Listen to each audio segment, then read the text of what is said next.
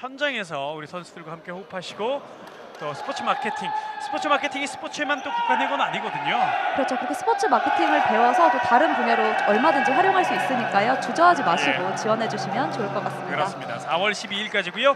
네이버에서 어, KUSF U 스포츠 마케팅 러너를 검색해 주시면 되겠습니다. 자, 점점 더 저희가 광고를 잘하는 것 같아요. 네.